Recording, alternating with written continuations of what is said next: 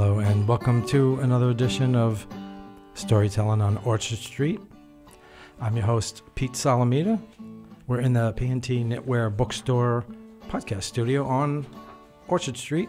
It's a great bookstore. They have a great selection of books and events and this podcast studio. Uh, with me is C.O. Moed. She grew up on New York's Lower East Side when it was still a tough neighborhood. An alum of the infamous Wow Cafe, her work has appeared in the Silver Tongue, sorry, Silver Tongue Devil anthology, Awake, Reader for the Sleepless, Mad Hatters, Thorn Literary Magazine, Unexpected Stories, Sensitive Skin, and Inspirational Art Magazine. My Private Coney, her 10 year blog from 2006 to 16 about New York City, has been featured in Jeremiah's Vanishing New York and excerpted in various online magazines and websites. It was her New York true stories and big pictures about dementia, gentrification, undying love, old lesbians, and family is being published by Rootstock in February of 2024. Welcome to the studio. Thank you so much. I'm glad to be here. And we should, um, I'm going to be transparent with the audience that we did this in May Yeah. and uh, unfortunately um, had problems with the video, so we're going to do it all over again. Can't wait. Yes. And I'm going to say that that was a, one of my favorite episodes, so I was really bummed out it didn't come out. But guess what? This is going to be even better. lightning, This- lightning can strike twice. It's this the lightning is going to be so intense. We're going to have to wear sunglasses. I'm ready. Okay. All right. So I have a lot of information here to talk to you about. Um, so obviously, uh, if anybody's read your blog, and I hope they have because it's a great blog, and I can't wait for the book. It's it's looking so beautiful. Right. Uh, I can't wait either. February Okay. 13th. Cool. And um, and basically, uh, uh, you- you grew up here in this I- neighborhood. I did. Uh, talk about that. Well, I grew up on Grand Street and Columbia, Right. or actually, I my window faced Broome Street in Columbia, and um, we lived in an amalgamated dwelling, which was a um, union-built uh, socialist housing for working class and lower middle class like us. Right. And uh, I went to PS 110 down the street on Broome Street, and I went to junior high school 56 on Henry, and my family grew up on Henry Street. My father lived on Henry Street. My mother moved from Bushwick to Henry Street. She taught at the Henry Street Settlement.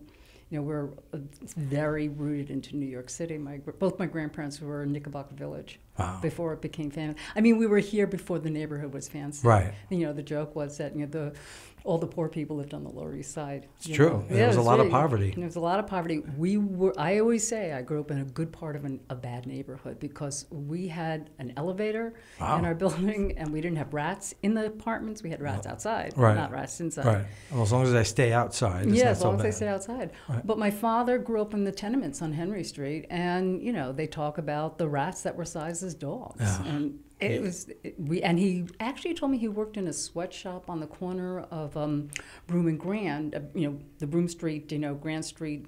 With on Columbia, I guess, and he said that they wove baskets, and when the inspectors would come, they would have to hide because they were children. Wow. They shouldn't have been working.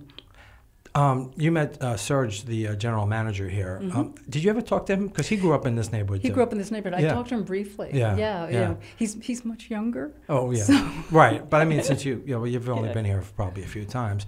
Um, I know for him, it's probably really weird to be working in a bookstore, managing a podcast studio in the neighborhood that he grew up in. Uh, what's it like for you to be here and to, and also see the changes? It's mixed. Uh-huh. It's, you know, I want to recognize what feels like home. And I think one of the reasons why I started the blog was that as gentrification began to really change a culture that I didn't grow up in, I began to look for where my home still existed. And it existed everywhere. It existed in shops. It existed in the people on the across the counter. It existed on the street. I I found these little moments of home Right. you know that and it's not like i it's my neighborhood and not yours. It's like it's my neighborhood come into it. This is also part of it's wonderful and you have you know a new influx of young people and ideas changing the neighborhood creating new businesses.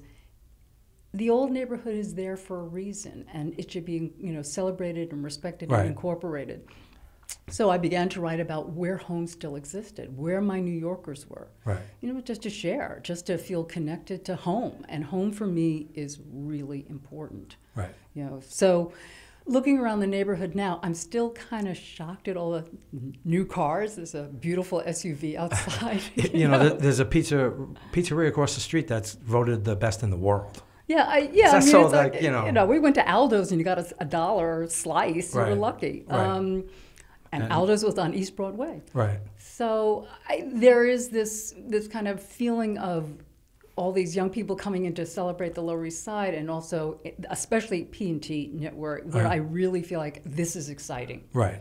Where we have young people coming in saying, "What's New York?" This is a good um, sample of what gentrification can can do because very community minded here. Yeah, uh, yeah, yeah, and it's very great. accepted and yeah. And I think like I know that a lot of people my age and around my age who grew up in the same period of time that I did, we have stories and we also have street moxie and we also have you know survival mechanisms and we have things that we can share that should be part of the New York culture. And so part Right. of writing the book and part of reading, you know, at these different reading series is to say, you know, here's here's how we live. Right. And not just lived, but Right. live. Right. This is who we are. Come on in. There's so much to talk about with you, um, uh, both the, your past and what you're doing currently, and this book. Uh, This book is the main, yeah. the main thing we should talk about. And so it's, um, you're talking a little bit about the history here, um, but th- so the the part the um, the book and uh, of course the um, where where it came from the uh, blog is a juxtaposition of um, you growing up. You know, obviously with your family, your mother, uh, your experiences here, and what the lower the Lower East Side was about, and at the same time, uh, gentrification and um, the decline of your mother's mental health. I think when when my so Florence was a um, someone who was raised in poverty and was a Juilliard graduate, which is a- which is a big deal for someone who comes from our origins. Right. And, And was it also a big deal because she was a woman at that time? yeah, Right. absolutely. Yeah. You know, and she was, you know, unfortunately in the closet. I mean, Right. she was in love with a particular person for almost her entire life, as Uh-huh. that person was in love with her for almost her entire life. And that book certainly, the book certainly holds that love story in its core.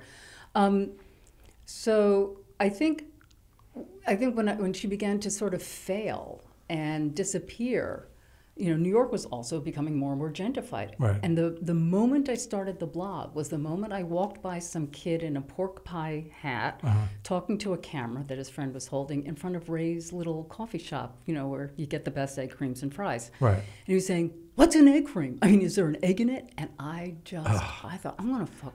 Sorry. I'm- mean, and that's where I thought, let me tell you what New York is. It's Right. not something to be snide about. An Right. egg cream, you I know. love a good egg cream. a good I used to stop. Um, like when I uh, first moved uh, to Brooklyn in '79, there was nothing in Brooklyn. No Right, restaurants, bars, music scene. I know, It would be hard for anybody um, now because you know young people now living here because there's so much to do in Brooklyn. There's no reason. Yeah, Brooklyn is, is yeah, alive. especially certain like Bushwick and, and Williamsburg for music And and, stuff. But we used to come in all the time for bars or whatever else we were Mm-hmm. doing, and we would um, on the way back we would stop at um, Dave's. I was um, going to say, did you go to Dave's? yeah, for knish and an egg cream. Yeah. Yep. Yeah, yeah, yeah.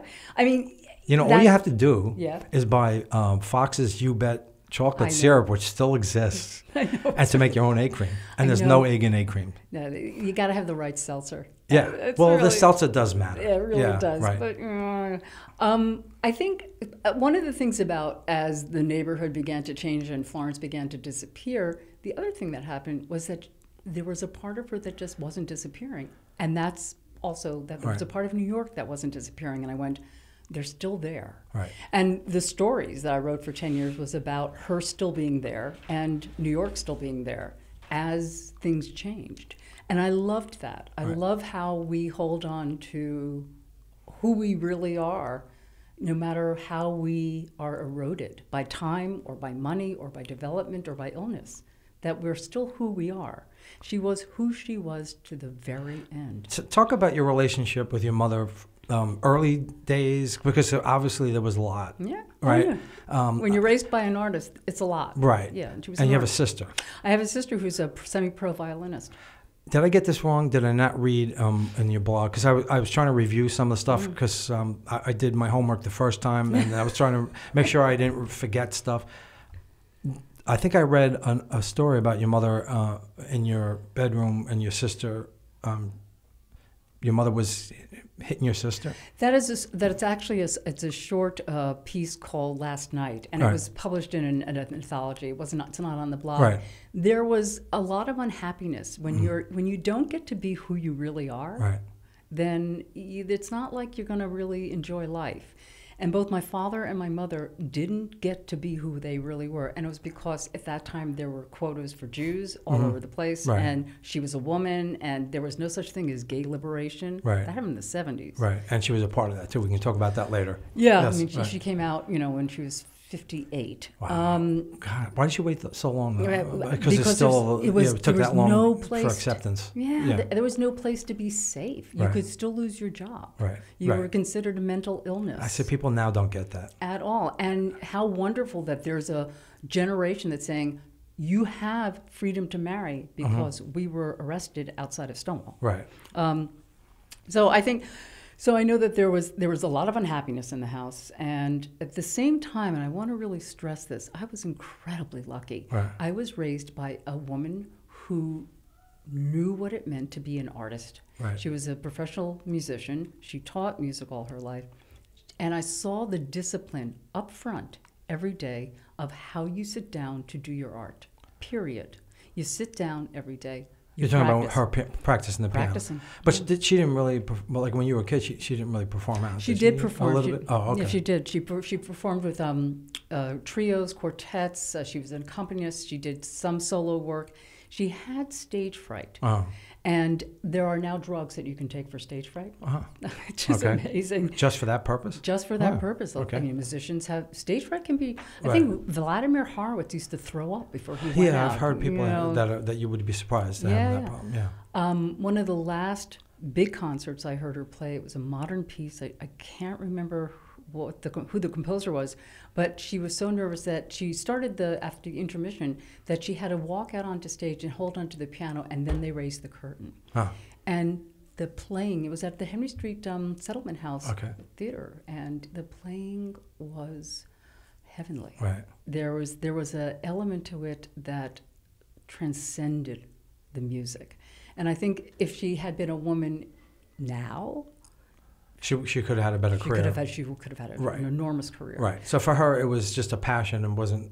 no it was i mean you can't no, It wasn't enough to help the family financially. no no. we, we well i mean you know no one makes a whole lot of money doing anything in art these True. days yeah Or, or any day, mostly. Unless anything. you're like Taylor Swift. I- that would be really There's nice. extremes, aren't there? and that's a lot of work and she Yeah. has a huge you know business that supports that right. Um, no, she did not make money doing it, but she taught for 50 years at Okay. Henry Street Settlement. So the music did pay. Yeah, it I mean, it yeah, did pay something. Right. I think, again, like I've had women writers specifically tell me that of how they never felt affirmed by their families to do what they were doing. Right. And I never felt that. My mother was like 100%. My father was 93%. I mean, there was such an understanding that for me to do art, to me Uh-huh. to become a writer, that there was no question. And you knew early on that's what you wanted to do. No, I think Oh. you know, my mother handed me a book when I was about 12. I was about to be an au pair girl on Fire Island. She said, You know, I used to keep a diary at your age. So I began writing a diary because Oh. she told me to write a diary. Right. I didn't know I was a writer until I went to the Wow Cafe. Okay. Wow. Yeah, So yeah, it was so, it was all the years, but I wrote a diary all the time Right. and very bad poetry, Right. which everyone should do at least once. You should have 10 years of bad poems I'm, somewhere. I'm going to have you read something uh, soon. Oh, yeah. Soon, but let's just um, tie Yeah. things together a little. So then, so then um, there's so many things to tie together. I don't know where to go. Um, but so you said you didn't become a, a writer until later. What did you do from childhood to? I was playing the violin. Right. I, I, we were raised as a musician family. Mhm. Mm, My sister and I Do you ever played- play now? No, Okay. No. Yeah. No, when I walked out of the conservatory, I Oh. walked out. no violin in your house. No. Okay. No violin in my house. Right. and which was great. That wasn't that wasn't how I was supposed to express Right. the story inside me. There are musicians who tell a story when they play. Right. I wasn't one of them. Okay. Um, but did you go to college? or- I yeah. did. I went to the city college, which Mhm. is where my father went and where my sister went. And if you go to the uh, NAC, which is North Academic Campus Plaza, you, there's a little plaque with our name on it. Wow. Yeah, yeah. Cool. My mother went to Hunter. She was Right. a Hunter girl. Okay. Uh, so I went to City College for both my bachelor's and for my master's. And, I have a master's from NYU too. Right. But the bachelor's, I started in the music conservatory program. I started in the jazz program. I was, a jazz, I was studying Wow. jazz under John Lewis of the Modern Jazz Quartet. Ah. I was I really love bad. modern jazz quartet. I know they're wonderful. Yeah. He was a great teacher. I Oh. was really bad. Okay. I was, I was, I, you know, I, I don't, I mean, I don't make any. Well, jazz is a whole it. different thing. It's one thing to, to play um, composed music, which is its own challenge. Mm. Yeah. But then jazz is a different thing. I came Not to everybody jazz. is No, no. I came to jazz from bluegrass and Right. old timey, you know, Uh-huh. where you're playing whatever you want to play. And, Right. and I heard jazz all the time. My mom once took me to a big sing. You know, there were all these like you know singing these great operas, and it was uh, the whole New York community with you know, and I'd be jamming, and she'd be like furious that I was like you know riffing on Mozart, but it was like that's what I heard. Right. But I couldn't translate it into the violin, which was fine. So I switched over to theater, and Okay. I, I, I was a performer. Mhm. And that's when I got involved with the Wow Cafe, which was on 11th Street. When, when would that have been? Like what period? 1982, Oh, okay. 81, 82. So you you go back a long time in, in the arts community and the, the poetry community. Yeah, All right. And we had, so I was organizing festivals. I was performing in all these wild shows that were offending people, but were tons of fun. Right.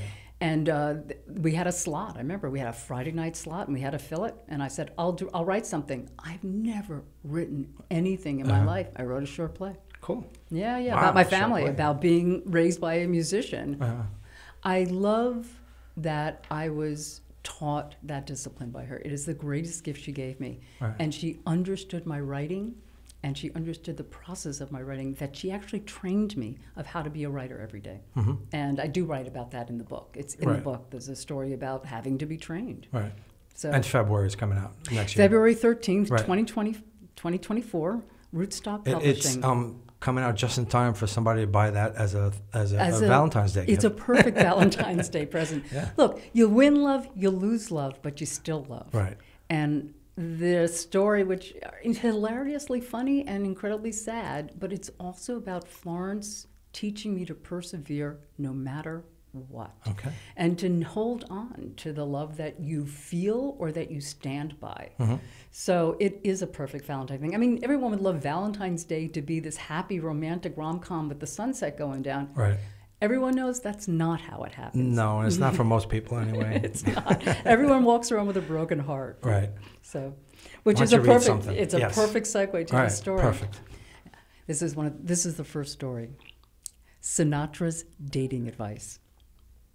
Florence is refusing to do much but lay in bed. I say, fine. You don't want to get out of bed, then go lay down and die. She yells, lie down, lie down, not lay down, lie down. I said, you can't get out of bed, but you can still correct my grammar. She yells, yes, it matters. I yell, then get out of bed.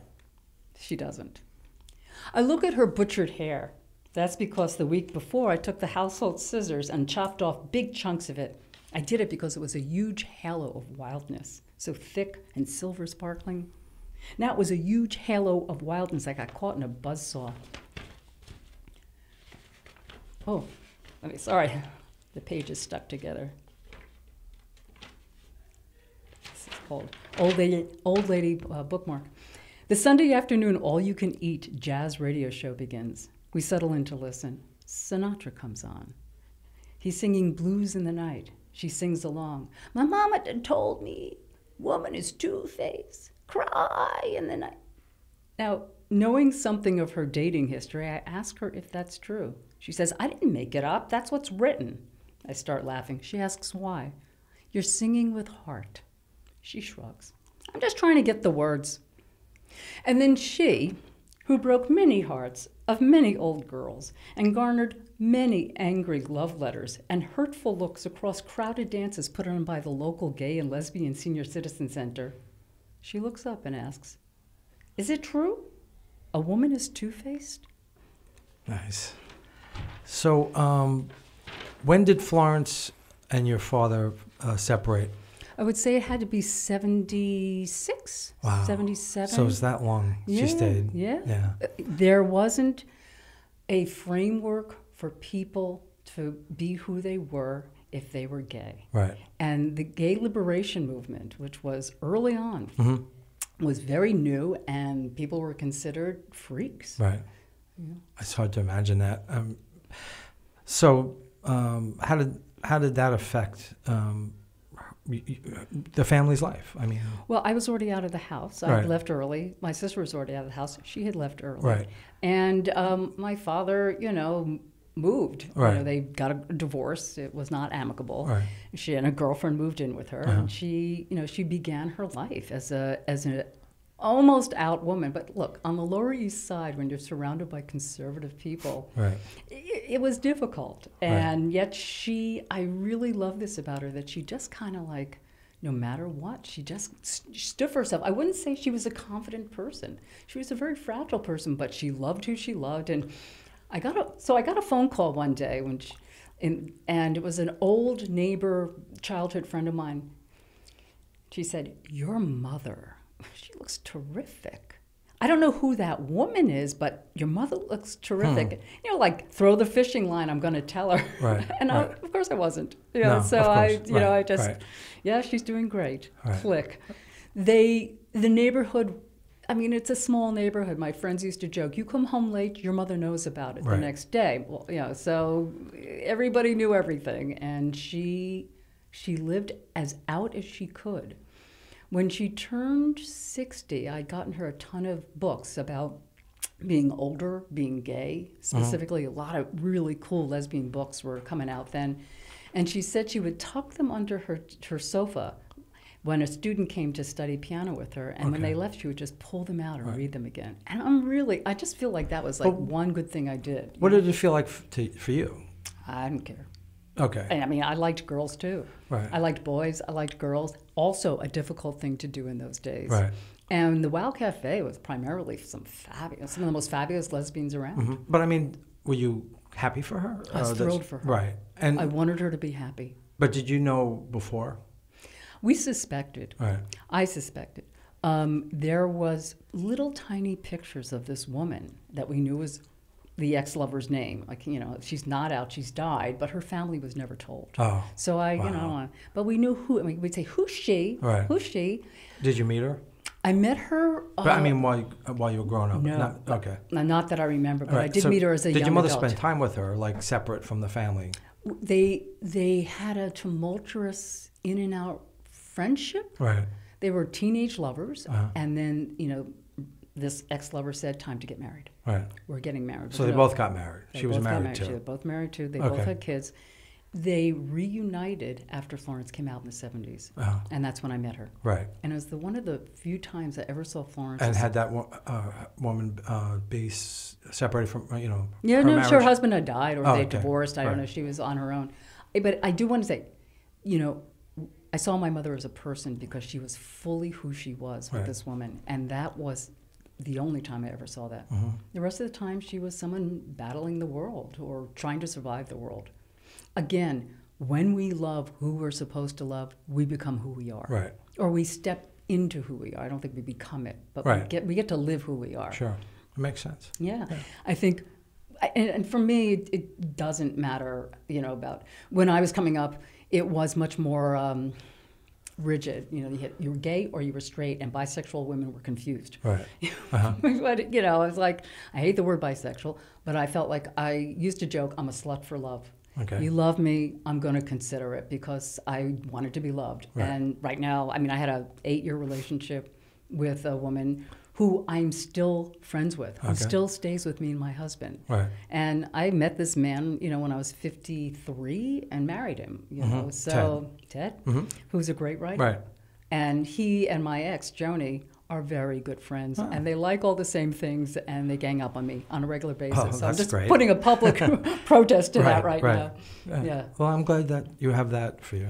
I, yourself. again, like I got lucky. I, I guess your mother was a um, a me- not a mentor, but I mean someone you could see. She was a role the- model, Yeah, right. but not not by trying. right, right. She just did what she had to do.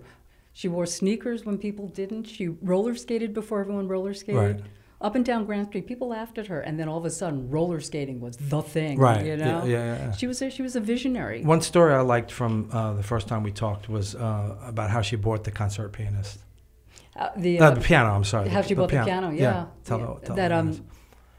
No, you're talking, you're talking about like where she, she, she saved all her money. Right, from? from waitressing Right. at the White. She waitressed during the war uh, at the White uh, Tavern or the White Horse, which was on University Place. It was a posh restaurant, and I think it was on D Day or V Day that she had enough money. She bought herself a. I thought she also, maybe I'm remembering wrong, I thought she also worked at Grossinger's. Am I wrong? She did work at Yeah. Grossinger's as a, as a young woman. Yeah, Right, right. She worked. At, she worked at all those, you know, uh, Uh-huh. Catskill places. Right. Yeah, and you know, uh, was a waitress and had. I think she was at that point still kind of wild and free. Right. Yeah. So yeah, she earned money being a waitress. Right. All of it. She at Grossinger's. There's a story she told us where she didn't quite understand kosher laws. I mean, she went to Hebrew school. Okay. But none of us are religious. Right. None, you know, we're just secular, cultural artists, Jews. Her Russian background, all my Russian relatives are artists Right. and pianists, painters, you know, jazz musicians. So she didn't get quite get the kosher laws. So I think she tried to bring a glass of milk into the meat restaurant, and Oh, Mr. no. Grossinger right. chased her around with a knife. You know, but how great is that? She Right. just like, okay, I'll give the kid a glass of milk. You know, she was there was a fearlessness about her for someone who was really, you know, battered. Because that's uh, another whole uh, interesting culture to me. Her Lower East Side and, and the Catskills. The, Yeah. The, Well, the- we never the went to- Borscht Belt. The Borscht Belt.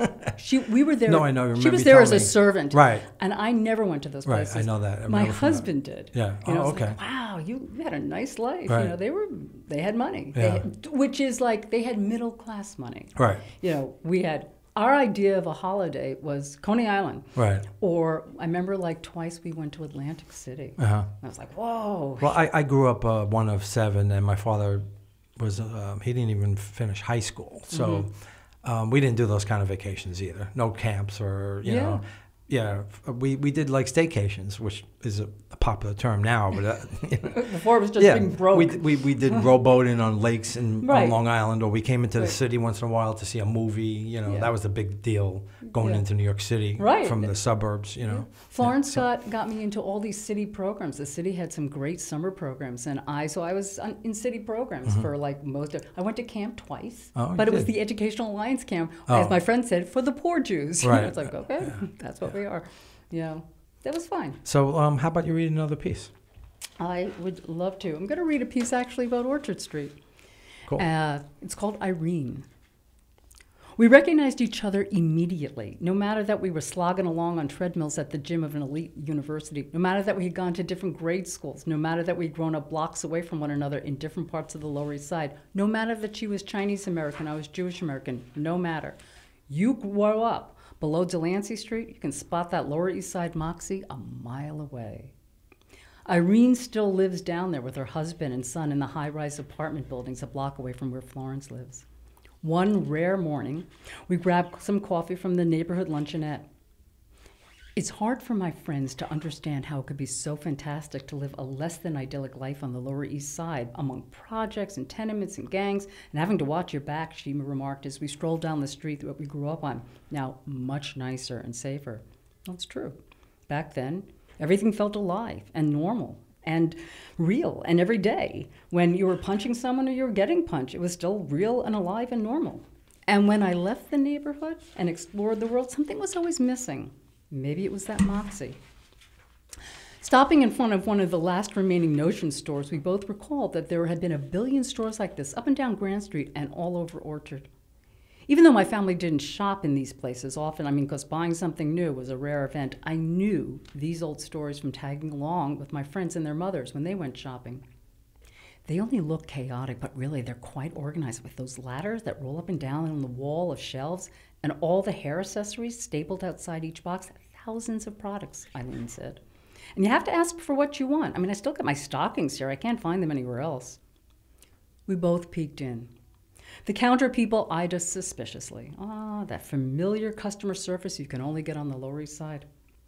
We shopped at Orchard Street every other week. I mean, I don't know what my mother was buying, but every other week, Irene continued. The Jewish owners, they paid us no mind, just let us poke around and look at everything until we were ready. I mean, it wasn't like we were dressed nicely. I think it's because we were Chinese and they liked us as customers.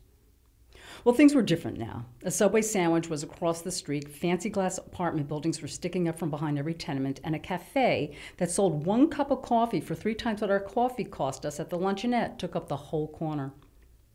The old notion store was now completely out of place, a relic from long ago. A handwritten sign in the window said, No pictures. I don't think that stopped tourists from snapping away because the store was just so old and unusual and exotic looking.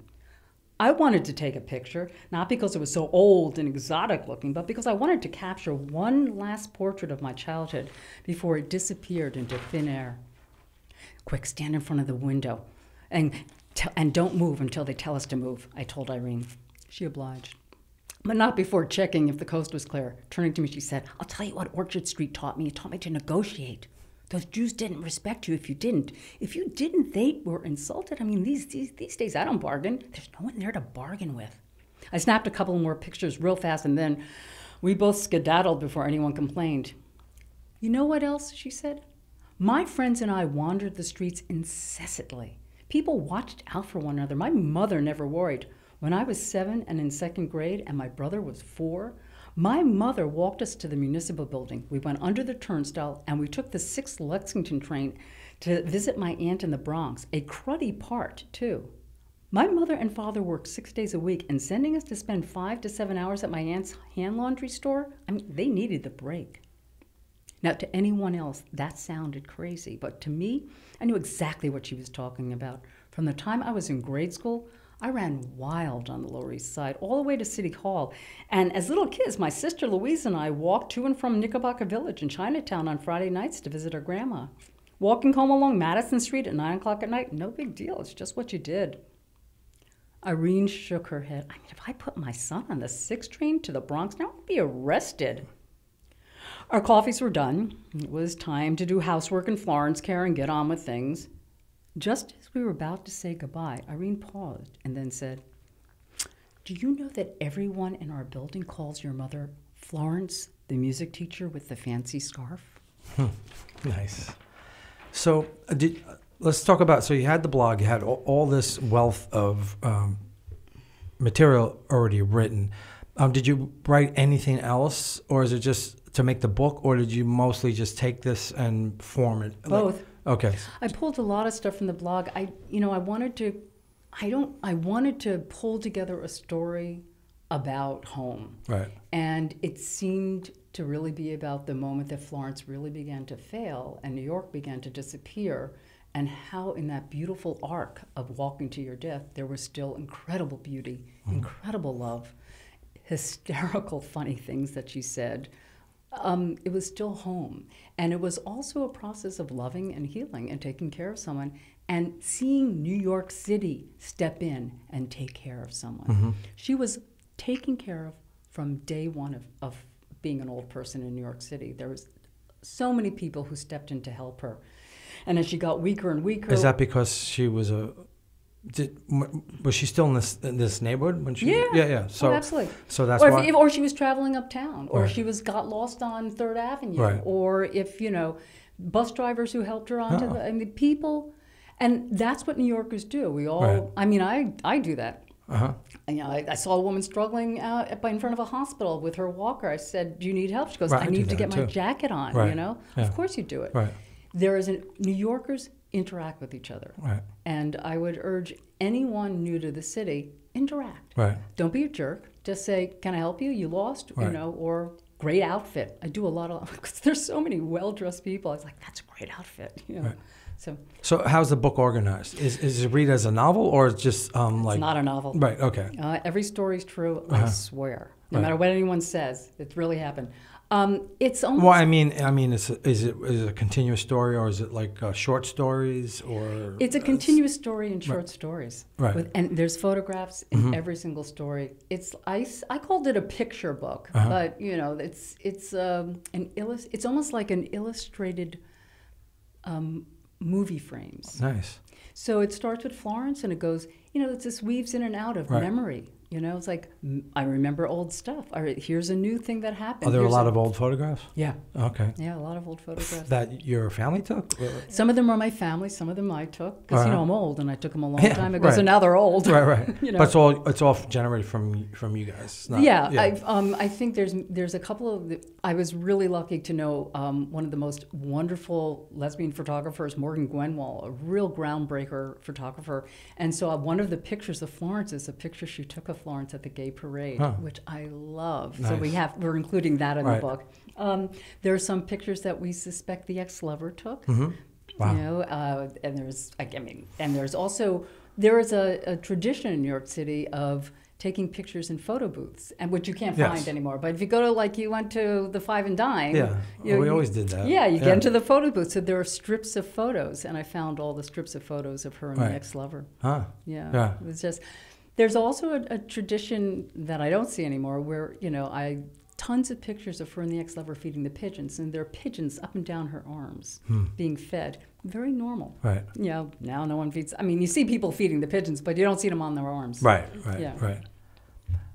Um, so, um, what was it like? Um, what, was your relationship generally good with your mother, on and off, or know. you- you- So, you know, I think there's this thing about women and mothers, which is really, you know, everyone has a mother. And we all have complicated relationships with them.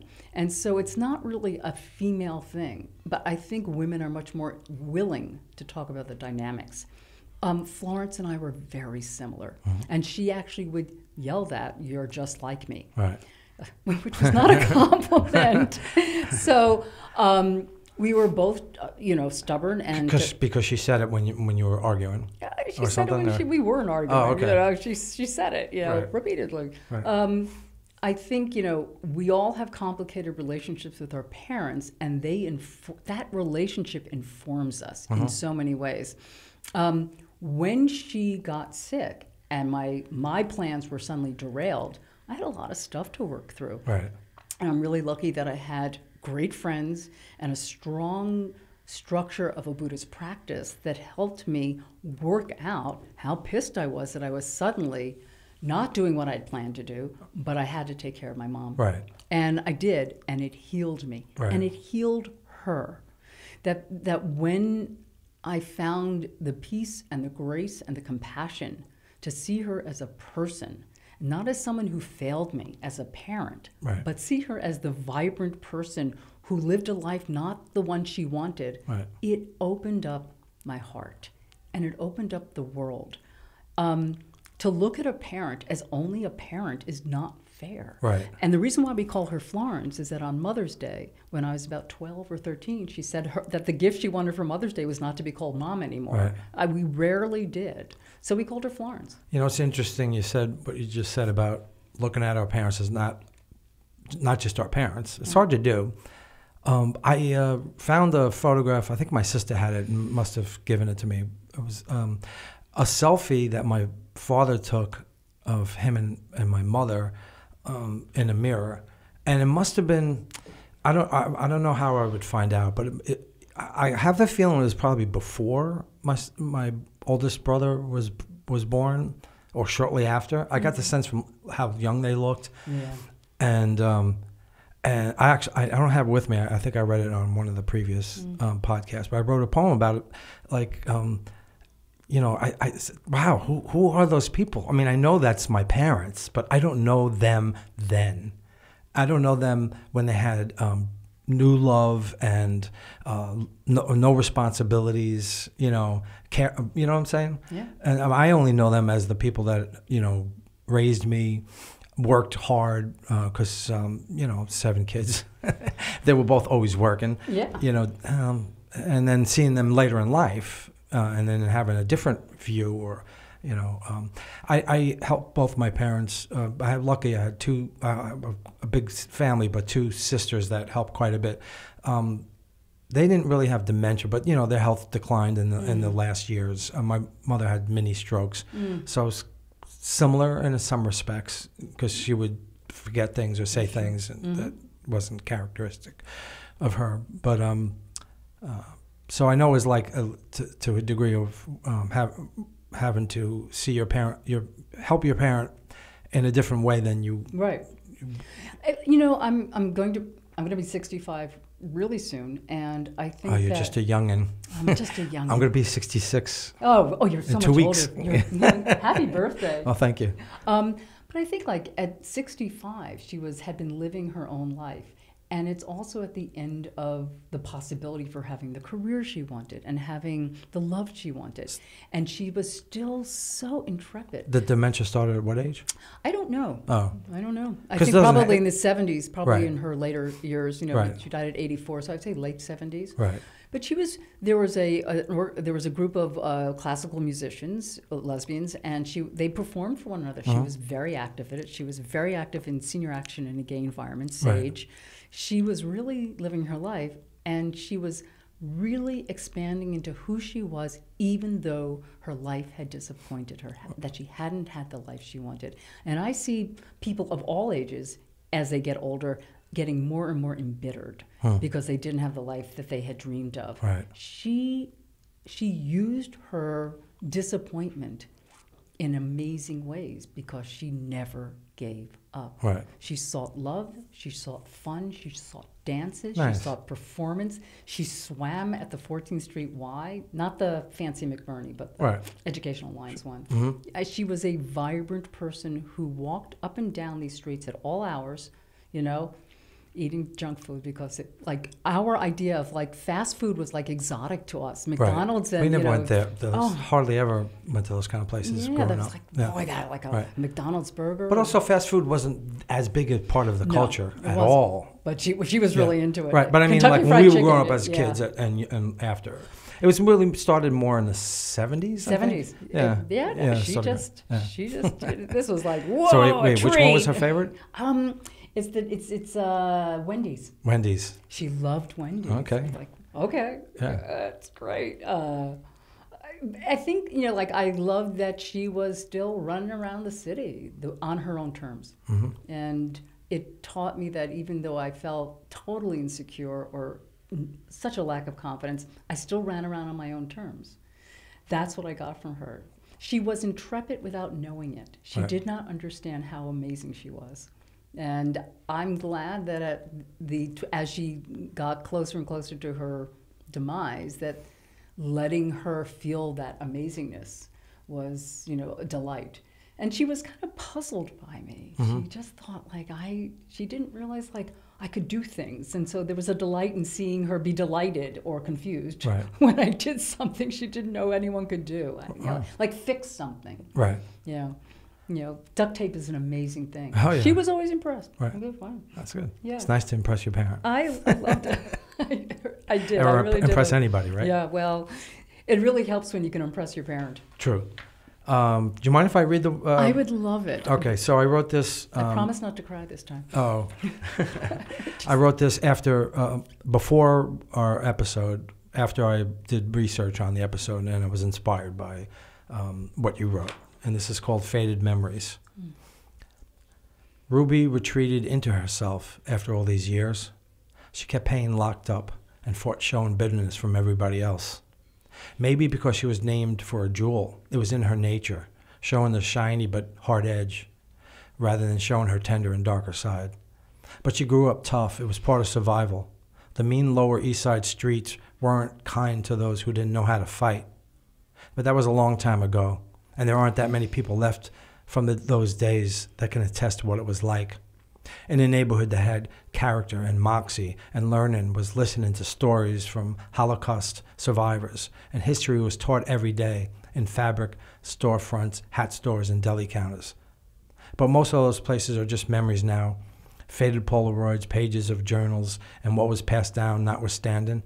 So Ruby walked slowly up the street, feeling like she was in someone else's reality, not recognizing the surroundings she spent eight decades being a part of. She would nod gracefully to those who took the time to notice her slim, tired, and aging profile, trying to hold on to what dignity is left when everything in your life feels as if it is declining.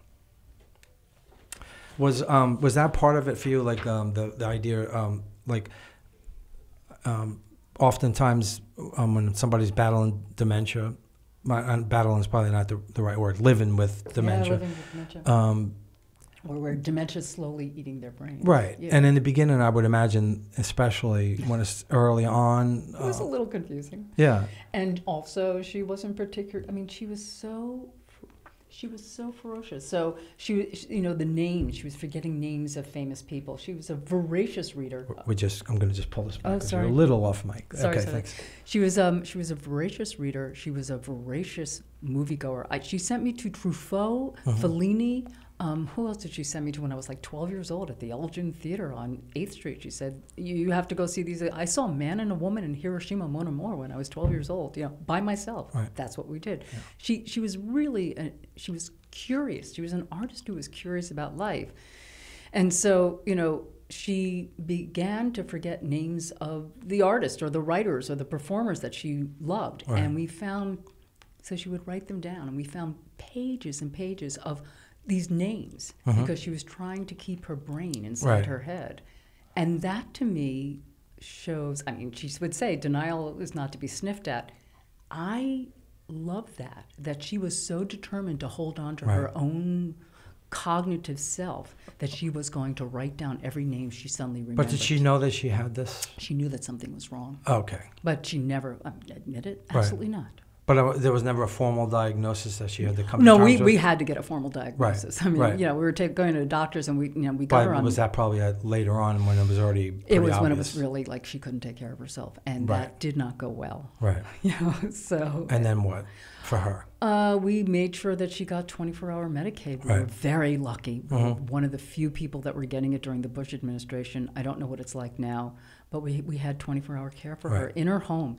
It's called Community Medicaid, and it was to keep her out of nursing homes. Right.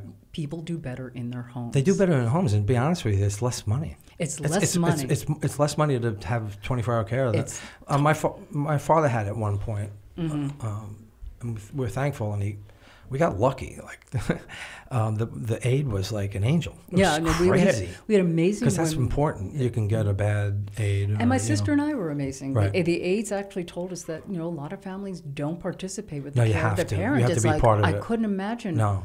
You know, and it's not like Florence was like, "Oh, I love my mommy." It was like, "You show up and you take care of your parents." Yeah, you have and to I do did it. with my dad too. Right, right, You know, yeah. so, um, you know, she knew that something was wrong. We almost lost our Medicaid application because Florence could still play the piano.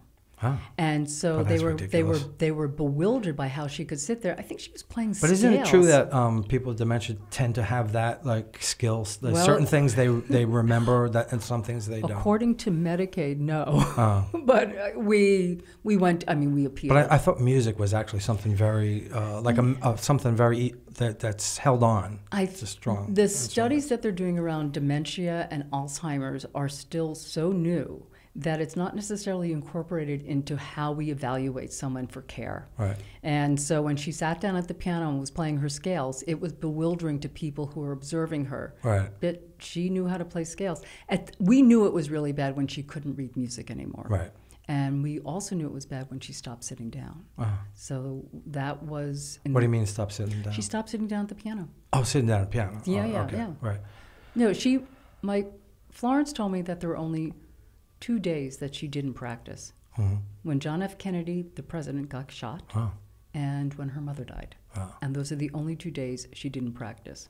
It's a it's a tough standard to live up to because there are days I don't write. You I know. like, oh. Uh, I can't think of. I don't think there's anything I've ever been that dedicated to. Well, that's but Yeah. that's where that was my role model. right. You work at your art Right. no matter what. And I had a sense of, uh, this is not my favorite word, but I had a sense of entitlement that I get to be a writer. Right. No, I did not get married. No, I did not have kids. No, I did not go into a career that wasn't writing. You know, I found jobs that supported the, the who I was, and that's not usual. Oh. And if you do it, it's not like you got parents saying, "Thank God you didn't become," you know, A poor, struggling. No, no. I mean, well, parents say to their kids, "You, you know, uh, get a get a something to fall back on, like being a Right. lawyer or a doctor." Right. You know, my mother was like, "Don't. Well, oh, You get out there and you be a writer." That's awesome. And she was also a great critic of my work, Uh, okay. and also a great critic of my work. Um, Why don't you read something? I would because love- we're getting towards the end of the show. I want to make sure you get. Well, this is certainly in. about uh, going deeper into care. Okay. Not Coney, Coney Island. Oh, I love this one. Florence is not only refusing to get out of bed, but she's refusing visitors, everything but her back. Kay, the recreational therapist, managed to get Florence to turn to her by playing a sonatina really badly on her portable electric keyboard. Annoyed by sloppy playing, Florence rolled over, corrected Kay's mistakes, and then rolled right back into her little corner. Kay didn't give up. She began mispronouncing composers' names badly. Florence rolled back over and began a lesson on how one is required to speak and how Debussy is supposed to be pronounced. A couple of days later, finished with my swimming lesson, which went actually swimmingly, I did not drown, I looked down from the glass balcony at the gym's pool filled with bodies going back and forth and recalled a recent conversation with the ex lover, the woman Florence had loved all her life, the woman who had loved Florence, her Deutsche, all her life. They had first found each other when they were so young they still had hope, but were old enough to recognize passion and desire for one another. Decades later, they reunited, but only briefly, both too old to change their ways or heal from a lifetime hiding from love. A while ago, I located the ex lover's number and address in Florence's papers and gave her a call to catch her up on things. As thanks, she sent me a recipe of a spiced applesauce cake that she got from my grandmother, the one who hated Florence. You know, at the time, it seemed like a fair exchange. Now, no one knew Florence like the ex lover. Your mother, my Deutsche, oh, such a great swimmer. Your mother, my Deutsche, could swim anywhere. Your mother, my Deutsche. Oh, we went to Coney, and boy, could your mother, my Deutsche, swim. And she went out, way out. And then, your mother, my Deutsche. Now, I knew Florence and Coney went back as far as Florence and the ex lover. I mean, years ago, before we knew her memory had begun to fray and she was hiding accidents and mistakes behind closed doors, I got Florence to talk into a microphone about the place she loved more than her piano Coney Island staring at the swimmers below her. I thought, I, I wonder if I could coax Florence to roll back into life. So I called her. I said, Hello, Florence. I, I just finished another swimming lesson. I used to go swimming. I swim, Florence said. I know, in the ocean. I had to shout this because she had, again, forgotten how to hold the phone to her ear. Right! And then you sit on the boardwalk and watch the people, and they see you alone and they try to strike up a conversation. Get out of bed, and I'll take you to Coney. Not Coney. it's Coney Island. Coney Island. Get out of bed and I'll take you to Coney Island. Okay, maybe tomorrow. Don't eat too much and lie down. And with that, she clicked off to roll back into her own deep waters. Nice. I love that one. I remember from you read it the last time, I believe. Yeah. Do you have the one uh, about the bras? I don't actually. I like that one. But it's, it's, it's in, a, in a nutshell, and my friends and I still talk about this. On Orchard Street, there are these tiny little bra stores where you are sized up, usually by the Hasidic families that are running the place. With you know, the men kind of glance at you and they can figure out what you, what size you are, and the uh, the way that they the women sized you was very um, hands on. So we would walk. I my first bra experience was that I walked in, and the way that I got sized for a training bra was that the woman put two hands on my baby tits and, and then pulled out a bra. And it happened to me as an adult, and that story's in the book as well. I, I love that one. Yeah, yeah, right on Could you imagine something like that happening now? No. Well, I mean, I it, I mean it happened, you know, I guess ten years ago. Right. So now ish, Okay, but yeah. I actually looked for that. But it happened 10 years ago in a, in a place that's Right an- down the street. Ancient, though. Yeah, right. Yeah, It- right. No, no, you don't do that now. but it was also a Jewish cultural. I mean, I don't know. Maybe it was Jewish cultural, but I do remember I was walking home one night by St. Mark's Church, and one of the old waitresses from the Second Avenue Deli, when it was on 10th Street and Second Avenue, was coming off her shift, and I recognized her. She was like really old, bright red dyed hair, lipstick that went over her, you know, lip line. And she was walking towards me, and I, rem- I knew who she was, but I didn't go in there that often. I went in uh-huh. there once a year. She looked at me, and then she grabbed my tits and she went, "Nice tatas," and then walked off. so clearly, you know, Yep. different world, Yes. different time. Yeah. So you've put a lot of yourself into this, and I'm sure it's going to be great. I, I can't wait to, to read it and see see the book. Um, have you had the time? or the inclination to write anything else? Yeah, no, I, I wrote uh, I wrote a trilogy that um, I'm going to rewrite, and I have tons of Trilogy of uh, uh, just a story of a young girl, uh, Okay. New York in based, three parts. in three parts, of what it means to, you know, find home. A lot of home, you know, it seems to be in my. I left my house when I was uh, 15 Mm-hmm. and lived with relatives, and then I found my apartment when I was 17, and I've lived in the same apartment for 47 years. So you know, Wow. yeah, That's incredible. well, I didn't. The joke. I mean, it's not even a joke. It's true. I didn't know how to drive a car, so I didn't know how to leave New York. Wow. You have to know how to drive a car. I got my license when I was 39 years old. Right. You know, Yeah. so I and that was just. Well, a lot of people didn't drive cars. Who, I didn't even know people who had. My wife never learned to drive at all. Tell her to stay the faith. Well, she's not gonna. She's not gonna change. So, if we were to move outside of New York City, it would have to be someplace else that It's you can walk to. my, walk my husband grew up in New Jersey, and he's a great driver. Uh-huh. But you know, I, I he was driving. You know, at 16. I gotta be honest with you. I hate driving here now. It's gotten so bad. There's always. I mean, it was always bad, but driving in, in New York, in New York City, or trying to get out of New York City, you're just always gonna hit traffic. It doesn't matter when it is. I know, but that's Except where I'm good. Maybe like three o'clock in the morning. Maybe Yeah. there's no traffic. We were driving. I'm trying to teach my son, who's 20, Yeah. how to drive. And I grew I grew up learning in the sub, Right. suburbs. Right. It's horrible trying to teach him here. It's like The only so I got my license at 39, and Joni, my ex-lover, and I were going to drive up to Vermont, eight hours away for a wedding, you know, family wedding, and um, I was great in New York City traffic. Wow. I could like, fuck you, fuck you, you know. But, um, but but are you driving now? Nope. No, No, that was many No, but years that's what I'm saying. It's gotten worse Yeah. because Oh, now because you got um, scooters, Oh, yeah, e-bikes, yeah. Other bikes. You know, it's just Well- um, there's so much to pay attention to. It's almost impossible. It's it is it is It's a bit more horrible. crowded. I Yeah. mean, I was a bike messenger. Matter of fact, everybody in my family. I we- forgot about that. Yeah, Yeah, that's so of us- crazy to see you as a bike messenger. I was a bike messenger. we I was riding a bicycle in the New York City streets from the time I was 12. right. And so I was, you know, I ride like a fish in water. But I, I ride. I've been riding bicycle since I moved here in '79. It's Yeah. horrible now. It's Okay. so different. well, I, I can't. I'm not allowed to get on a bike because I'm, I'm and a bit and, of a hot dog. and I think I'm less afraid of the cars than these. Other than the e-bikes, I really Well, like the, the, scooters the are worse because those are, are vehicles, and they and they drive fast, Yeah. and they go in regular traffic, and then And then they get when it's and into the um, bike lanes too. Well, that is the change of culture, Right. Because we suddenly have a world that lives on delivery. Everybody orders everything all the time. Uh, that's know, right. It's really bad. And these guys Yeah. who are usual immigrants are busting their butts. no, they have to do. They, have, to be to fast to make their money. I understand them, Yeah. but it doesn't mean it's. you know. I know, I Yeah. know. It's like that's that's how I would be. I was a I was a total hot dog on the bike. So we're at the end. I have to say, um, I think this episode is better than the one we I'm couldn't so use. glad. Yeah. No, it's always Yeah. it's always wonderful You know what? to talk to you. I listened back to it as, as you know, even though the volume the volume w- Mm. was uneven, and uh, I felt like I talked too much. But you know, I'm trying to get better at like the, the less I say about myself is better in the Well, show. I think that's look. That's New York language. right. You know, we we're, we overtalk each other constantly. We're talking over each other. We're interrupting each other. That is how New Yorkers talk. I do want to plug something though. Go ahead. Um, about so I started. I did one so far, uh, doing a variety show Oh wow. uh, at Young Ethel's, which is four or five blocks from my house on Fifth Avenue in Brooklyn. Yeah. So I'm really happy.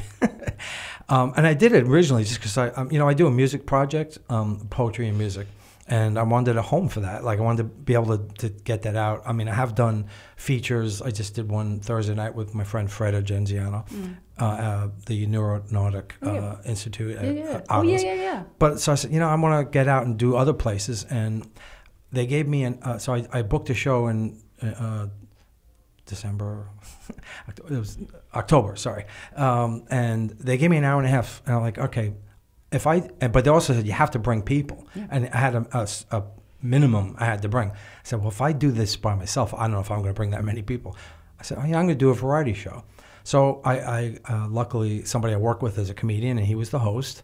And then I, I booked two music acts, two poets, and a storyteller. Wow. Yeah, you know. So sounds wonderful. Uh, so we're doing another one, uh, December 9th, Saturday at Young Ethel's, uh, th- uh, three to five. So it's a matinee. You can do your chores, come to the show, and then go out to dinner.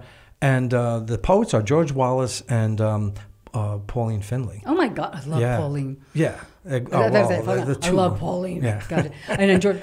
So um, I just want to tell you like how small New York is. Uh-huh. Matthew Hubert runs the thing at Otto's that you went to. That's what I'm. Yeah, I didn't Yeah, get yeah. to say his name, Yeah, but Matthew. Matthew. he's a- wait, a- wait, wait. okay. Matthew Hubert's brother, Daniel Hubert, is a lawyer who protected me from getting evicted, and we Nice. changed the Wow. laws in New York City. Right. We made the first roommate law in New York Right. City. That's how small the world is, and that was in this, the 80s, Wow. 81, is 80 or Uh-huh. something like that. Before we end, I want to end on one more New York story. Okay. Real short and sweet. Sure. All right. Okay. And, and it's called The Secret of the Fruit Man. For the first time ever, the Fruit Man by the Avenue A bus stop on Clinton and Grand was closed. Well, the first time not a Jewish holiday. His fruit stand, an outside pyramid of overflowing old boxes piled onto the sidewalk and a beat up space inside for the stuff that students couldn't stand the heat or the rain or the snow, was just like all the other fruit stands in the neighborhood. But while the rest dissolved into fancy supermarkets and gourmet coffee shops or Chinatown where fruit sold out of their shipping boxes still meant something, the fruit man stayed on Grand Street. Everyone in the neighborhood loved him, even Florence, who hated him. Irene, my fellow Lower East Side girl and Florence's neighbor, loved his cantaloupe. I knew he couldn't have been evicted. The city sold the building to the tenants so everyone could stay there without being kicked out because they weren't rich. So I called Irene. Where's the fruit man? He retired, Irene said. Really? Why? Was he sick? No, he was 90. Wow. He was mean. No, he wasn't. he yelled at everybody. Irene cut me off. All his customers were old and hard of hearing. That's why he yelled. That's great. That's New York. It definitely is. Well, speaking of Fred Argenziano, um, my partner in crime, um, I write the poetry, he does the music. That's him on guitar. Uh, C.O. Moed, I want to thank you so. Why Co and not your and not your full name? Claire Olivia is a very pretty name. I do. I love that. Yeah, I know, but it- Okay. no one takes me seriously. Oh, okay. And also, I sign I all do. my. I, I thank you so yes. much. I sign all my checks CO. I sign all my paperwork it. CO. So, it just yeah, became it CO. Sounds. It's official. it's official. More official. Uh, you've been a great guest. Second time. Thank you. I'm hoping a third time. We've both gotten better with age. well, you're so much older than me. I know. It's just- it's just- I know. I'm I so sad about that. You've been listening to Storytelling on Orchard Street. Um, I'm Pete Solomita, your host. We're in the podcast studios of P&T, P&T Knitwear. A great store. Yes, come check the bookstore Come out. see a New York City bookstore. thanks for listening. Yeah. okay. Good night, folks.